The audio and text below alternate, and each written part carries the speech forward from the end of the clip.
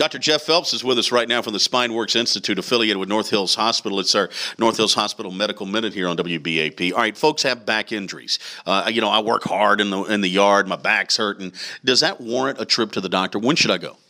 So back pain is almost normal in people. You know, I, I think that humans were basically designed to have back pain at some point in their life.